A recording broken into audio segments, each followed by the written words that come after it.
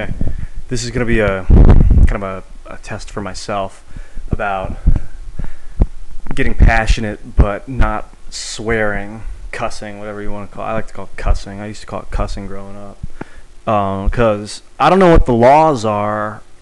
Are there laws? Is it preferences about like cussing online? Can you do it? I don't know.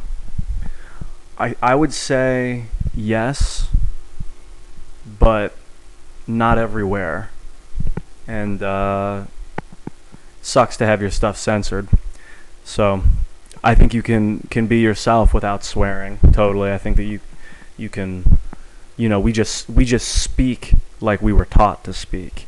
You know, you could you could express yourself in Arabic if you spoke Arabic and not English. So why can you not swear? Just because it's part of the English language doesn't mean you have to use it. And uh, so I'm not going to, because it's not about what you say; it's about how you say it.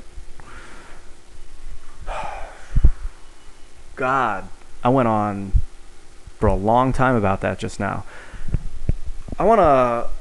I'd like. First of all, I'd like to start off by by thanking um, technology for the opportunity to make this and to do this and to put this up somewhere where someone can see it, not just in my apartment with these lovely paintings in the background, which I've noticed. This is actually a friend of mine named Tiffany Carter painted this thing. Nice work, Tiffany. It's it's pretty pretty amazing. Our whole apartment has just got a bunch of paintings up on the walls. This is one of the benefits of living with a woman is that they will decorate all the time. I uh, I never decorated my apartment before, and it's pretty it's pretty sweet. And the greatest part is uh, my girlfriend Amanda loves naked women. Uh,